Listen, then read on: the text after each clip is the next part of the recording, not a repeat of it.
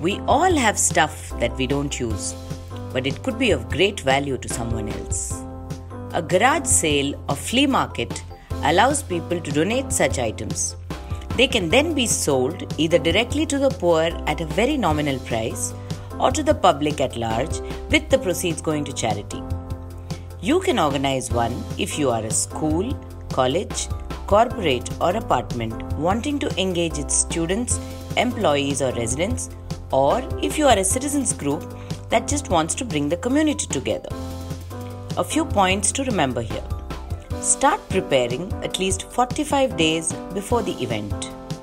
If you are selling to your peers, organize the donation and the sale at the same place your school or college, office, apartment, or public place.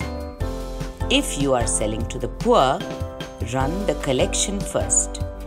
Then identify a community hall near the chawls or slums where you'd want to set up the sale or simply set up a street store.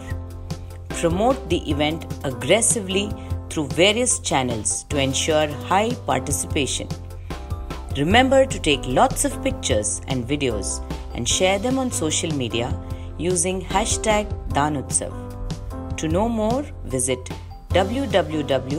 www.daanutsav.org. Join the celebration and experience the best joy in the world, the joy in giving.